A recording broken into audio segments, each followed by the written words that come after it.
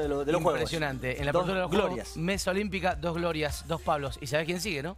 Sí, Pablo otro Gerardi. Otro Pablo. Otra gloria. Otra gloria del periodismo. No tanto, pero honran el nombre, qué bueno. Un orgullo tenerlos acá. Cambiamos de tema porque en el marco de los Juegos Olímpicos estuvo de visita en Francia Javier Milei, el presidente argentino, que aprovechó para estar en la apertura en los Juegos y visitar al plantel argentino y además a tener una reunión bilateral de las pocas que concedió Emmanuel Macron, el dueño de casa. Y allí hablaron de múltiples temas.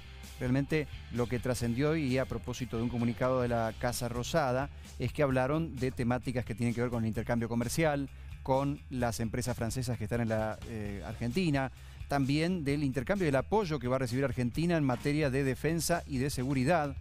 Las Fuerzas Armadas puntualmente hablaron de la situación del mundo en cuanto a los conflictos bélicos. Agradeció Francia el apoyo argentino en el conflicto Rusia-Ucrania y en la defensa de Ucrania.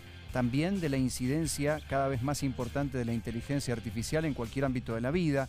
Celebraron la excelente relación que tienen ambas naciones. También, y esto lo reconoció explícitamente el gobierno, hizo hincapié en la última tensión que hubo, que se trató de los cánticos del seleccionado argentino, las eh, aclaraciones, los posteos de la vicepresidenta.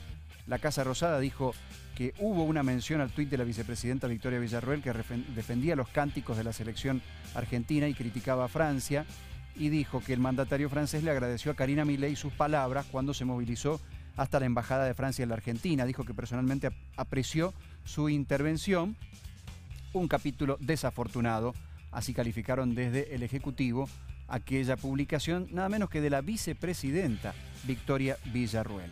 Una reunión que eh, antecedió a otra a otro encuentro con empresarios franceses, muchos de los cuales tienen delegaciones, sucursales, filiales en la Argentina o que pueden tener interés en inversiones, y luego participó de los actos de inauguración de los Juegos Olímpicos París 2024. Estás en el 7.